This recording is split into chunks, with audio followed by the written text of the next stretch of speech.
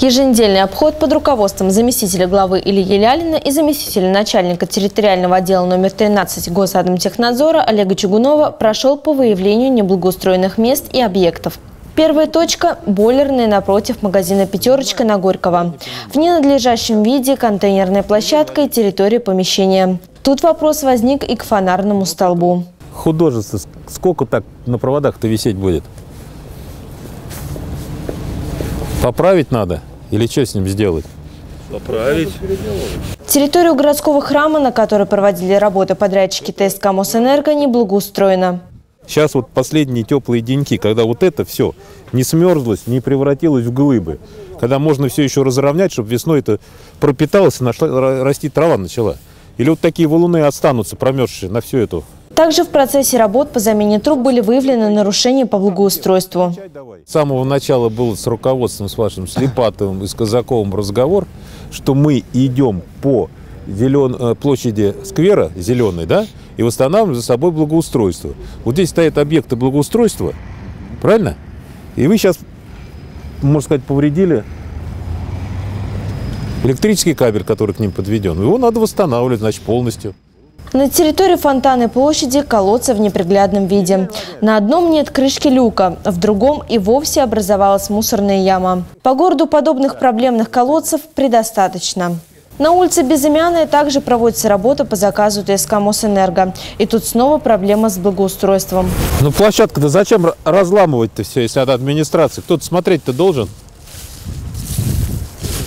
Становим все в лучшем виде. Здравствуйте. Не, ну чтобы доски не ушли. Мы лучше новые лавочки поставим. А, ну хорошо. Отходим немного дальше, и тут же вопрос. Наверное, ваши из-за экономии, что ли? Значит, переделывать надо. В сквере на улице Ленина обнаружен опасный сухостой, который в ближайшее время должен быть срублен.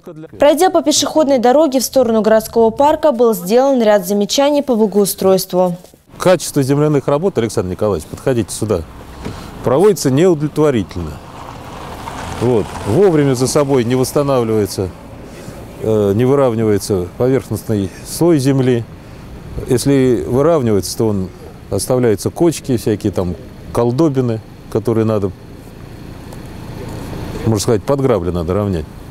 Ну, а ТСК, восстановление благоустройства, это тоже Я понятно. Потом у вас основные проблемы, это вот мы опять сегодня сколько? Три люка выявили без крыши.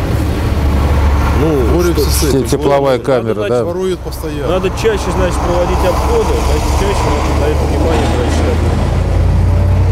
Потому что то, как содержится ваша тепловая камера, это неоднократно это указывает.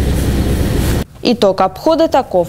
Сегодня в ходе объезда городского округа Электрогорск выявлены недостатки в содержании объектов наземных линий теплосети, отсутствие крыш-клюков на теплокамерах – неустановление благоустройства после проведения земляных работ.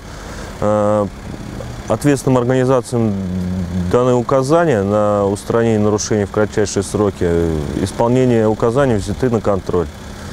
Остальное в целом э, территория городского округа Электрогорск содержится в надлежащем состоянии. На этом еженедельный обход был завершен.